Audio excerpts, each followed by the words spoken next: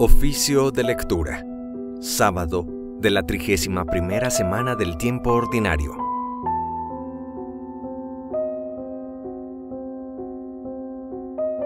Dios mío, ven en mi auxilio.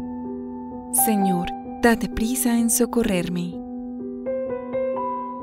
Gloria al Padre, y al Hijo, y al Espíritu Santo. Como era en el principio, ahora y siempre, por los siglos de los siglos. Amén. Himno. Señor, tú que llamaste del fondo del no ser todos los seres, prodigios del cincel de tu palabra, imágenes de ti resplandecientes. Señor, tú que creaste la bella nave azul en que navegan los hijos de los hombres, entre espacios repletos de misterio y luz de estrellas. Señor, tú que nos diste la inmensa dignidad de ser tus hijos, no dejes que el pecado y que la muerte destruyan en el hombre el ser divino. Señor, tú que salvaste al hombre de caer en el vacío, recréanos de nuevo en tu palabra y llámanos de nuevo al paraíso. Oh Padre, tú que enviaste al mundo de los hombres a tu Hijo, no dejes que se apague en nuestras almas la luz esplendorosa de tu Espíritu. Amén. Salmodia. Dad gracias al Señor por su misericordia, por las maravillas que hace con los hombres. Salmo 106. Primera parte. Dad gracias al Señor, porque es bueno, porque es eterna su misericordia. Que lo confiesen los redimidos por el Señor, los que Él rescató de la mano del enemigo, los que reunió de todos los países, norte y sur, oriente y occidente. Erraban por un desierto solitario, no encontraban el camino de ciudad habitada, pasaban hambre y sed, se les iba agotando la vida, pero gritaron al Señor en su angustia y los arrancó de la tribulación. Los guió por un camino derecho para que llegaran a ciudad habitada. Den gracias al Señor por su misericordia, por las maravillas que hace con los hombres. Calmó el ansia de los sedientos y a los hambrientos los colmó de bienes. Yacían en oscuridad y tinieblas, cautivos de hierros y miserias, por haberse rebelado contra los mandamientos, despreciando el plan del Altísimo. Él humilló su corazón con trabajos, sucumbían y nadie los socorría. Pero gritaron al Señor en su angustia, y los arrancó de la tribulación. Los sacó de las sombrías tinieblas, arrancó sus cadenas. Den gracias al Señor por su misericordia, por las maravillas que hace con los hombres. Destrozó las puertas de bronce, quebró los cerrojos de hierro. Estaban enfermos por sus maldades, por sus culpas eran afligidos, aborrecían todos los manjares y ya tocaban las puertas de la muerte. Pero gritaron al Señor en su angustia y los arrancó de la tribulación. Envió su palabra para curarlos, para salvarlos de la perdición.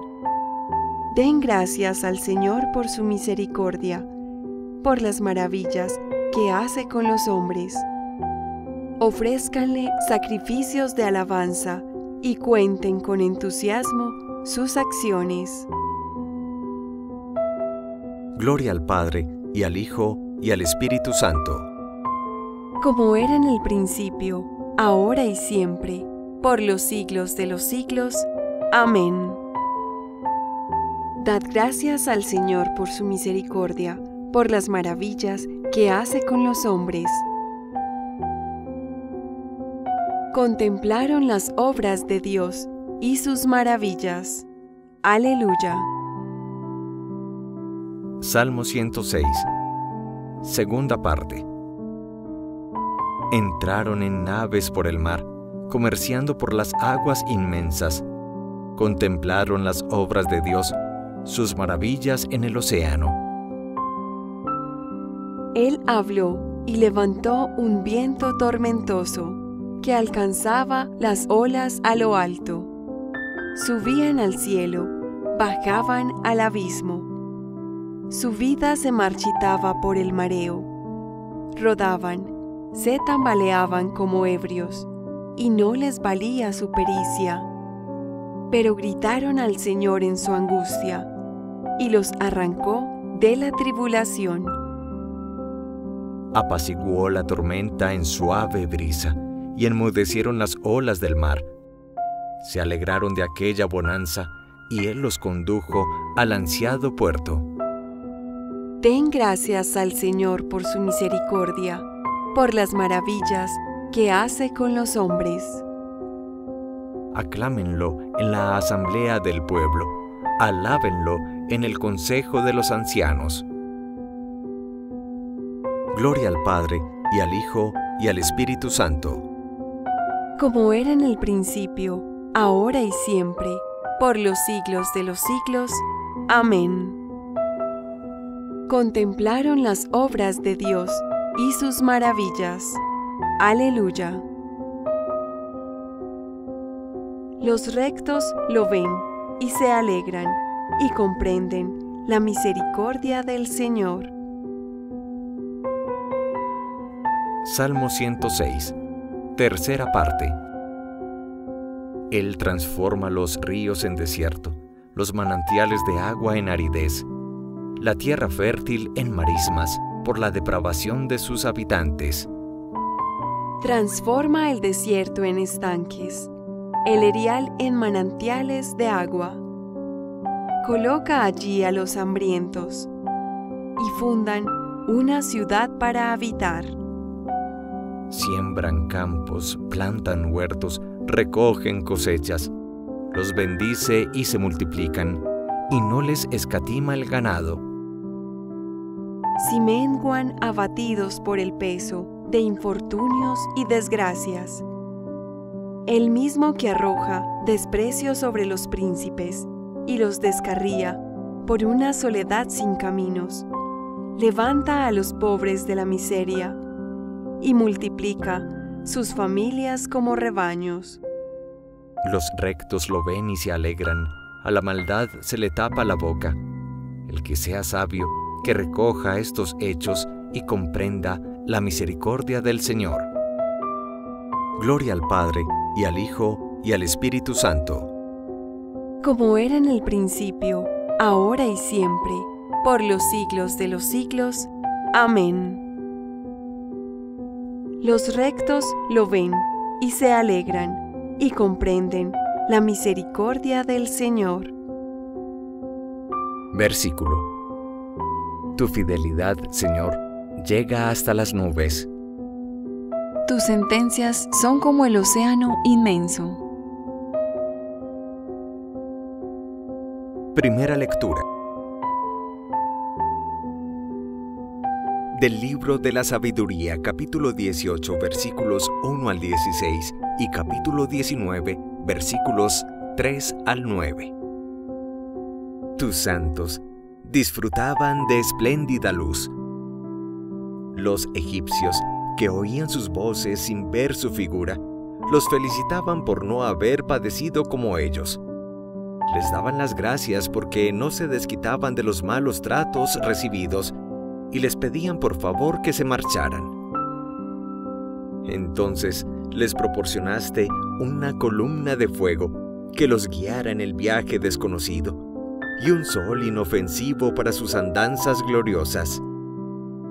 En cambio, bien merecían verse privados de luz, prisioneros de las tinieblas, los que tuvieron encerrados en prisión a tus hijos, los cuales habían de dar al mundo la luz imperecedera de la ley. Cuando decidieron matar a los niños de los santos y se salvó uno solo, Expósito.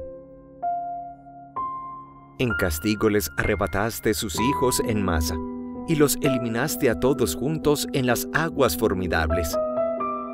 Aquella noche fue anunciada de antemano a nuestros padres, para que tuvieran ánimo al conocer con certeza la promesa de que se fiaban. Tu pueblo esperaba ya la salvación de los inocentes y la perdición de los enemigos, pues con una misma acción castigabas a los adversarios y nos honrabas llamándonos a ti. Los piadosos herederos de las bendiciones ofrecían sacrificios a escondidas y de común acuerdo se imponían esta ley sagrada, que todos los santos serían solidarios en los peligros y en los bienes, y empezaron a entonar los himnos tradicionales. Hacían eco los gritos destemplados de los enemigos, y cundía el clamor quejumbroso del duelo por sus hijos. Idéntico castigo sufrían el esclavo y el amo, el plebeyo y el rey padecían lo mismo. Todos sin distinción tenían muertos innumerables, víctimas de la misma muerte. Los vivos no daban abasto para enterrarlos, porque en un momento pereció lo mejor de su raza. Aunque la magia los había hecho desconfiar de todo, cuando el exterminio de los primogénitos confesaron que el pueblo aquel era hijo de Dios un sosegado silencio todo lo envolvía y la noche se encontraba en la mitad de su carrera. Tu palabra omnipotente, como paladín inexorable, descendió del cielo, desde el trono real al país condenado. Llevaba la espada afilada de tu orden terminante. Se detuvo y lo llenó todo de muerte. Pisaba la tierra y tocaba el cielo pero aquellos, antes de terminar los funerales, llorando junto a las tumbas de los muertos, tramaron otro plan insensato, y a los que habían expulsado con súplicas, los perseguían como fugitivos. Hasta este extremo, los arrastró su merecido destino y los hizo olvidarse del pasado, para que remataran con sus torturas el castigo pendiente, y mientras tu pueblo realizaba un viaje sorprendente, toparan ellos con una muerte insólita. Porque la creación entera, cumpliendo tus órdenes, cambió radicalmente de naturaleza para guardar incólumes a tus hijos. Se vio la nube dando sombra al campamento, la tierra firme emergiendo donde había antes agua, el mar rojo convertido en camino practicable y el violento oleaje hecha una vega verde. Por allí pasaron, en formación compacta, los que iban protegidos por tu mano, presenciando prodigios asombrosos. Retozaban como potros y triscaban como corderos, alabándote a ti, Señor su libertador. Responsorio. Tu santo Señor realizaron un viaje sorprendente cumpliendo tus órdenes y los guardaste incólumes en medio del violento oleaje. Emergió la tierra firme, convertido el mar rojo en camino practicable. Cantaron, Señor, un himno a tu santo nombre, ensalzando a coro tu mano victoriosa. Emergió la tierra firme, convertido el mar rojo en camino practicable. Segunda lectura del Tratado de San Ambrosio, Obispo, sobre el bien de la muerte. Dice el apóstol, El mundo está crucificado para mí y yo para el mundo. Existe pues en esta vida una muerte que es buena. Por ello se nos exhorta a que llevemos siempre en nosotros por todas partes los sufrimientos mortales de Jesús para que también la vida de Jesús se manifieste en nosotros. Que la muerte vaya pues actuando en nosotros, para que también se manifieste en nosotros la vida, es decir, para que obtengamos aquella vida buena que sigue a la muerte. Vida dichosa después de la victoria. Vida feliz, terminado el combate. Vida en la que la ley de la carne no se opone ya a la ley del Espíritu. Vida finalmente en la que ya no es necesario luchar contra el cuerpo mortal, porque el mismo cuerpo mortal ha alcanzado ya la victoria.